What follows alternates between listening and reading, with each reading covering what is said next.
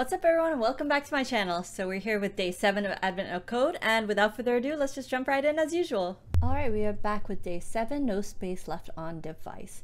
So I'm going to take a couple of minutes to read the problem because it looks like a long one and then we can come back and talk about it. Okay, so by the looks of it, it looks like we're in a terminal and there's a few commands that we can run. So we can cd to change directory, uh, this being the root folder. And our problem is essentially that this file system obviously takes up some amount of space with all the files within the directories in it or even the nested directories in it. So our goal is that based on these commands um, and the file structure, we want to find all of the files and how much room they take up and then return the directories those files are in if they are have a total size of at most 100,000. So yeah, this is going to take a few data structures to figure out like where each file is and then what the tree looks like and to also make sure that the parent directories are showing the right amount of space. So this is going to take a bit of time and we want to actually add the total sizes of all those directories that are at most uh, 100,000. So for example, in this case, it would be directory A and E. So it would be the sum of all of these, which adds up to that. Because everything else is actually larger, or rather every other directory is larger with the contents within it.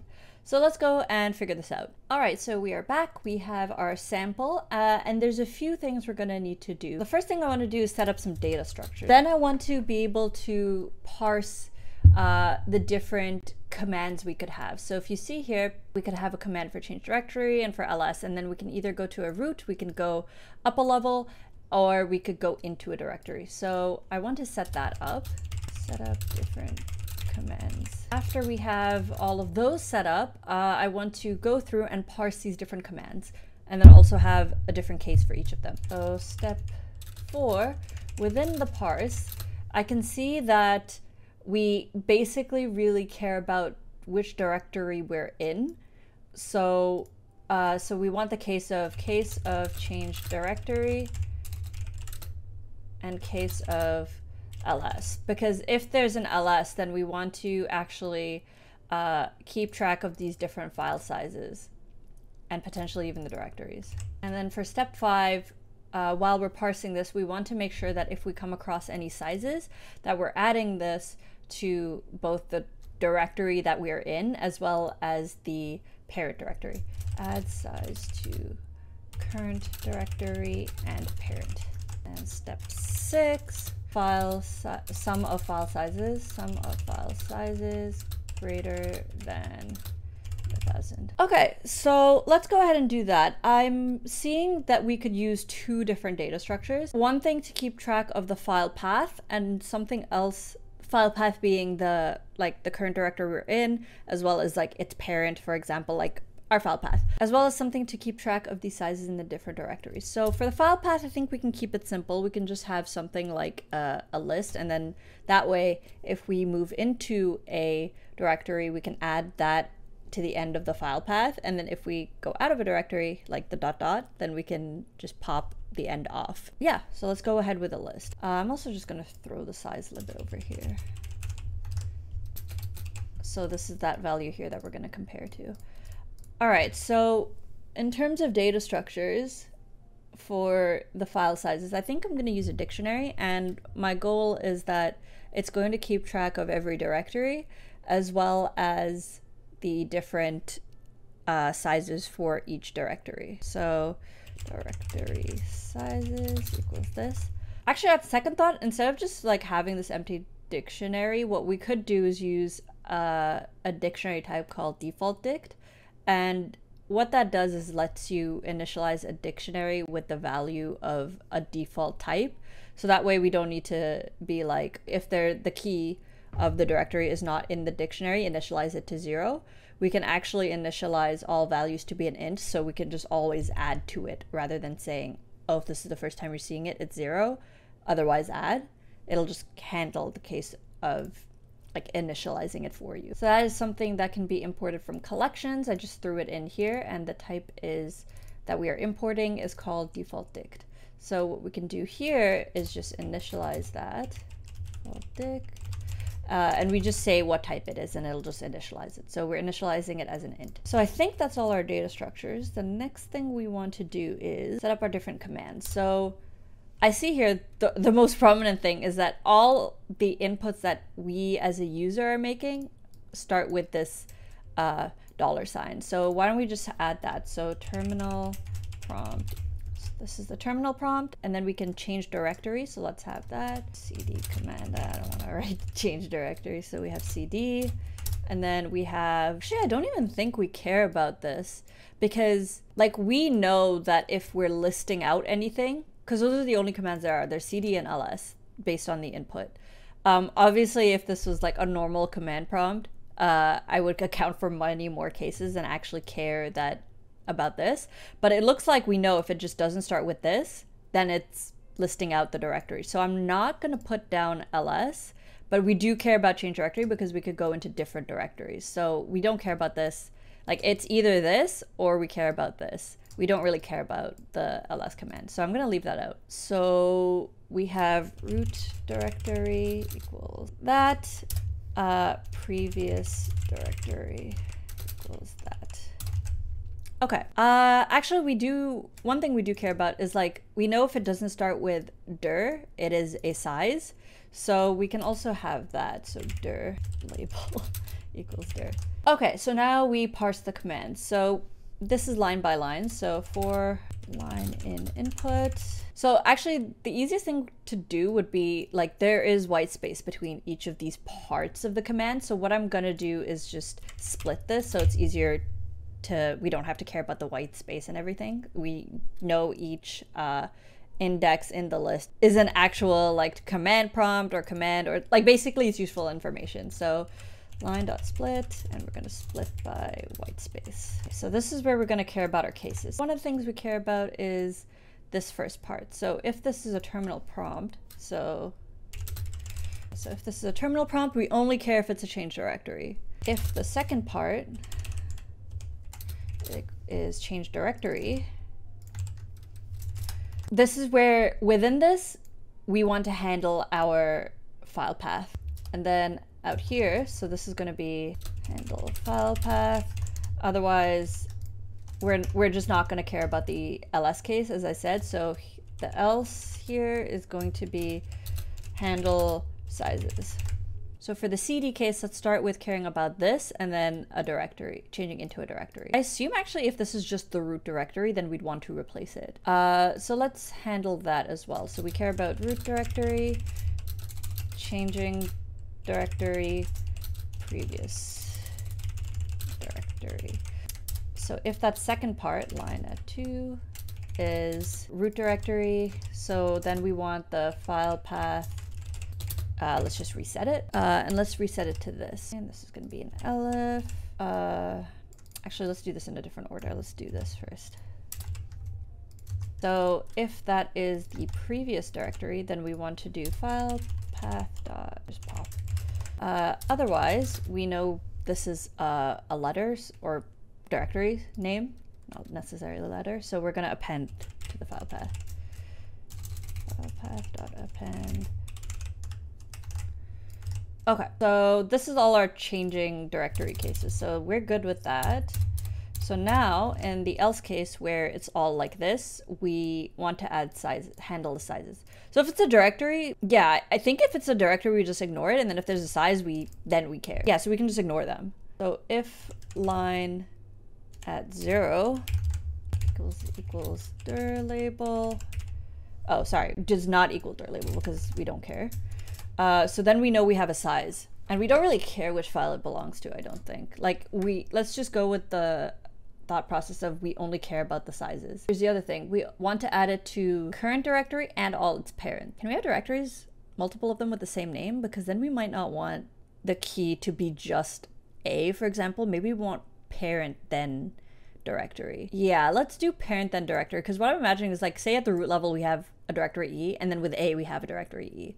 So the reason I think about that is because I want to figure out what the key for these dictionary si directory sizes is going to be because we need to add it to the parents as well. So, okay. So if that's dir label, the size is going to be an int. So size equals int at zero. Okay, so what I'm gonna do is loop through these, the file path. So I'm gonna loop through this by index because I want to include the parent in the key name for the dictionary sizes. So for example, I want something like AE equal AE 200 and then like that. So I want something like this. So I'm gonna loop through by index. That way we can be like, the key is going to be one previous slash and uh, the current directory. So let's do something like that. I in range length of file path. So here's the thing, if we're in the root directory, we don't have a minus one. So I think if it's in the root folder, then I will just add the directory name. I won't care about the, like it's in the root folder. So maybe we can have something like this actually. I is less than or equal to one. So we only care if it's more nested than the root directory. Then we want directory sizes, file path at i plus equals size. Otherwise, so parent equals file path minus one, current equals file path at i. We're going to do directory sizes, directory key it's going to be, so I'm just going to build the key here. So what I want is something like, I'm using string formatting here to just say that I want the parent and then slash, and then the current. So that's going to be the key for the directory keys. That. And let's just print this so I can see what actually comes out and if it makes sense. Oh no. Okay, so I had a bit of an error where I had, uh, I was not parsing the input by new line, so I'm doing that now. So let's try to run that again. Okay, uh, we have the root is big. Uh, we have A, we have A, E, D.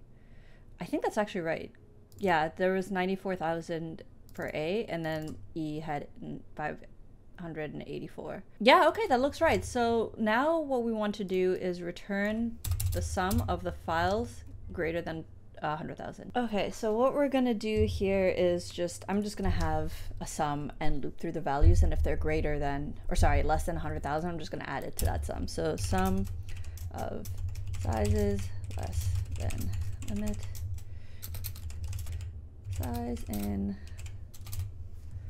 directory sizes dot values. If size is less than at most so it's less than or equal to size limit.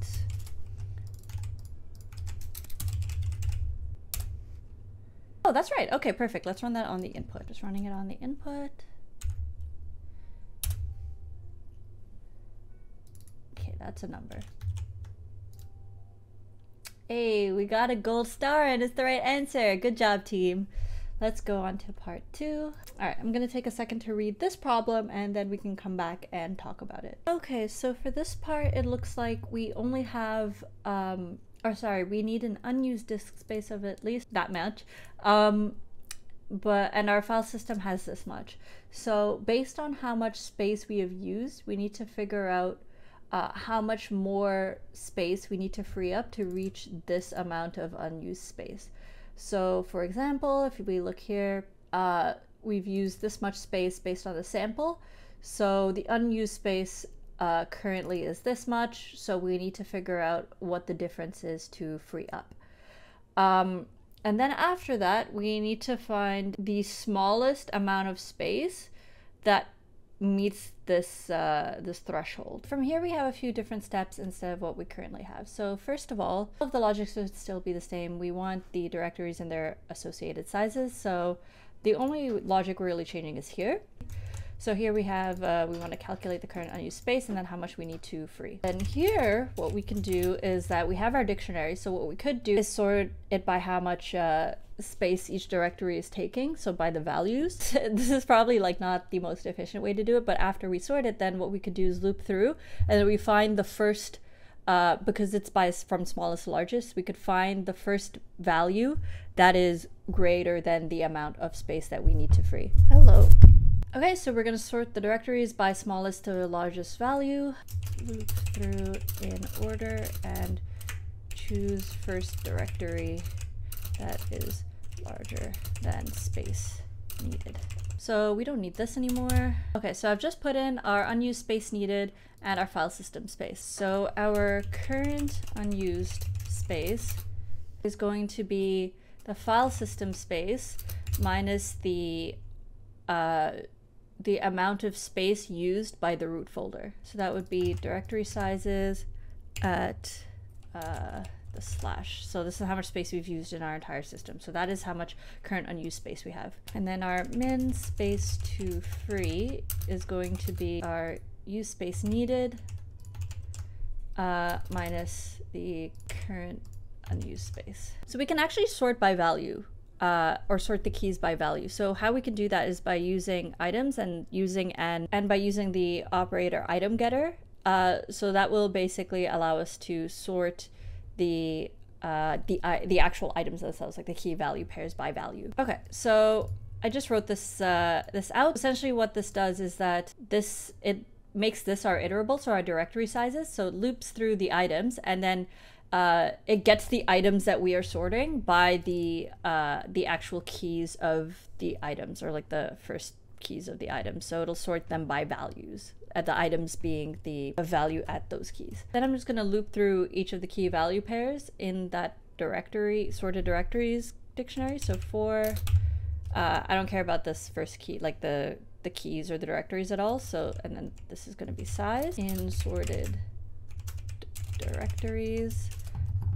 So we want to find the first uh, size that is greater than the minimum space to free. So if size is greater than or equal to min space to free, we're just going to return size.